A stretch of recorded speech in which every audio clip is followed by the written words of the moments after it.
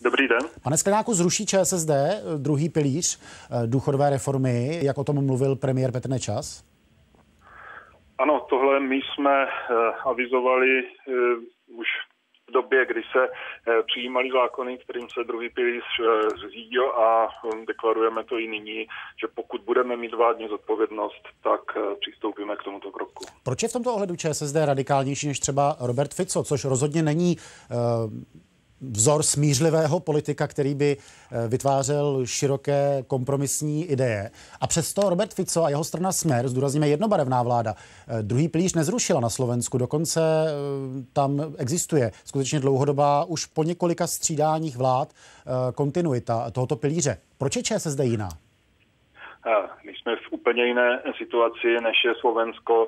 Vláda Roberta Fica nastupovala samozřejmě do situace, kdy druhý pilíř byl rozběhnut, kdy měl určitý počet účastníků a byly nějaké parametry a on se samozřejmě postupně snaží korigovat to tak, aby, aby nedocházelo k ohrožení systému důchodového, ale, ale my jsme v úplně jiné situaci. My jsme na začátku a v podstatě, jak vypovídá počet účastníků druhého pilíře, tak, tak je to v podstatě fiasko, to, to, o ten pilíř není vůbec Pardon, ale zájem. není to fiasko vlastně kvůli tomu, že ČSSD straší tím, že systém zruší? Není to tak, že vlastně je to důkaz kruhem.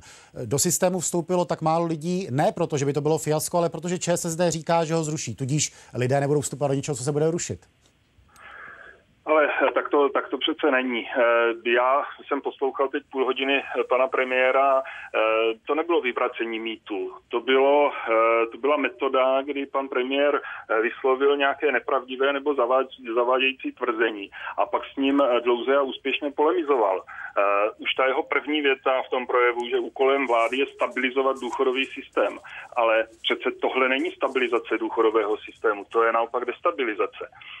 On tam polemizuje s tím, že eh, populace stárne, ale to přece je fakt, který eh, nikdo nespochybňuje. Eh, populace stárne, ale tento důchodový systém zřízení druhého pilíře tuto situaci vůbec neřeší. Co tedy řeší? Co je řešením ČSSD? Pokud tedy platí, že opravdu zrušíte druhý pilíř, co tedy bude tím novým, co vy nastartujete? Eh, podívejte, eh, naše priorita je neoslabovat ten průběžný systém, neoslabovat první pilíř. V tom je problém důchodové reformy, která byla přijata, protože tím, čím více lidí vstoupí do druhého pilíře, tím více se vyvede prostředků z toho průběžného systému. Jinými slovy, stávající důchodci, kteří jsou placeni výhradně z toho průběžného systému, jejich eh, starobní penze jdou z tohoto systému, tak pro ně samozřejmě v tom systému eh, zůstává méně peněz. Ne, promiňte, podstatě... ale pane, promiňte, vy teď se pořád vymezujete proti návrhům současné vlády. Já už se ptám na to, co vy jako ČSSD po případných eh, vyhraných volbách a případné vládní účasti budete dělat jiného. Vy jenom říkáte, že nebudete oslavovat eh, průběžný systém, ale co tedy budete dělat? Jak bude vypadat důchodový systém za vás?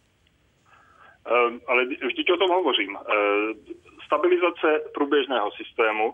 Co to a... znamená? Co to znamená stabilizace průběžného systému? Zdůrazněme, že třeba s tím budete muset za pár měsíců jezdit po eh, českých náměstích a předpokládám, že stabilizace průběžného systému není tím úplně marketingově nejchytlavějším sloganem. Co si pod tím představit? Uh, naše priorita je, aby lidé, kteří celý život pracovali, měli státem garantováno, že budou uh, prožít důstojné stáří. Eh, není možné eh, systém eh, reformovat tak, aby dnešní penzisté v podstatě žili pod úrovní chudoby. Dobře, tak já to, já to zkusím jinak. Já to zkusím jinak. Bude ČSSD zvyšovat sociální pojištění, tedy to, co lidé anebo firmy platí z platů a odvádějí to na ten průběžný důchodový systém? Tohle otázky, které, které mm, budeme představovat eh, až poté, eh, co je uvnitř sociální demokracie eh, vydiskutujeme. Počkejte, tak ale... dovoleb zbývá, dovoleb zbývá rok?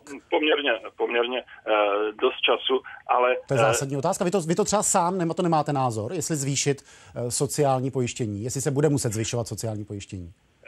Já se domnívám, že to nebude, nebude nutné A my chceme hlavně, a o tom v podstatě není řeč, motivovat jak občany, tak zaměstnavatele, aby přispívali v tom třetím pilíři, v tom doplňkovém penzijním spoření.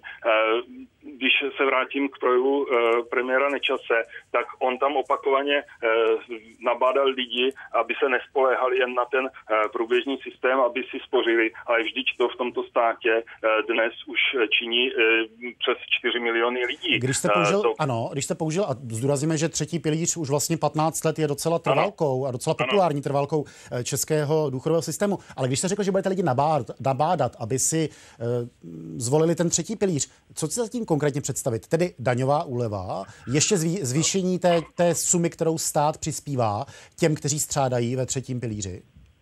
Ani ne, tam, tam jde spíše o to, že když se podíváme na statistiky, tak naprostá většina uh, účastníků třetího pilíře, pokud dosáhne důchodového věku, tak eh, zvolila do této chvíle eh, to jednorázové, eh, jednorázové odbytné, v podstatě když si nechali celou částku vyplatit.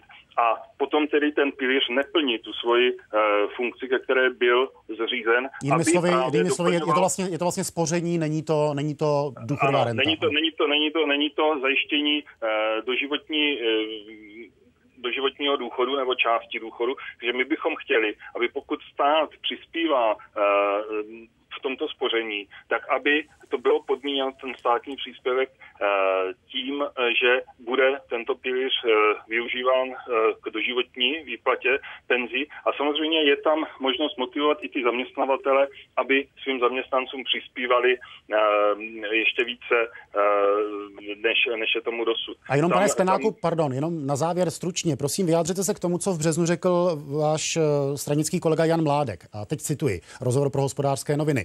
V řadě zemí mají stanoveno, že průměrný důchodce má pět let mezi odchodem do důchodu a úmrtím. Je to tedy trochu cynické, ale bohužel to jinak nejde. Myslím, že tuto debatu tady bude nutné rovněž otevřít.